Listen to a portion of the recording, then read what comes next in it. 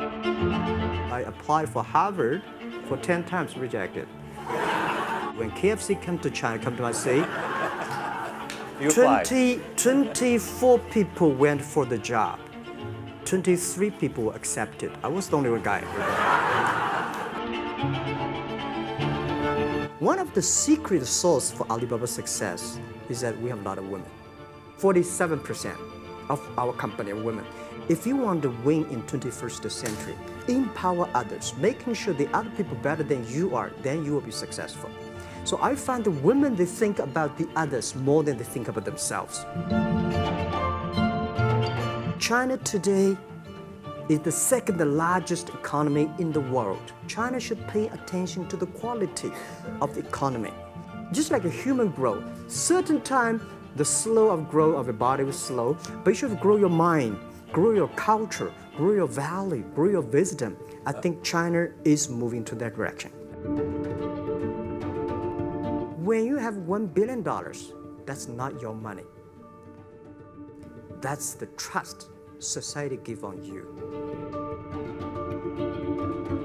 So many people I talked to at that time for Alipay, they say, this is the stupidest idea you have ever got. But I say, I don't wear the stupid clever as long as people use it. Now we have uh, 800 million people using this Alipay. Tai Chi is about uh, how you balance, how you work, like a competition.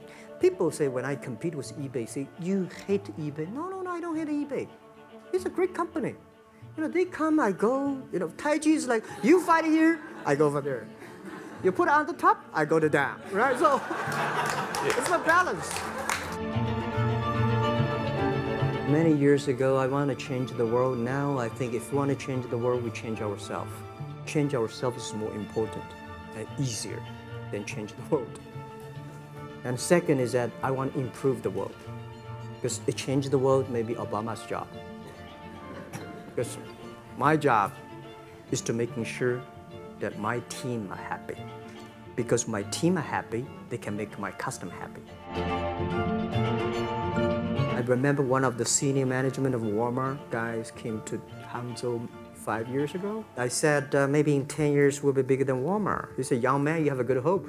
If you want to have 10,000 new customers, you have to build a new warehouse and this, that. For me, two servers.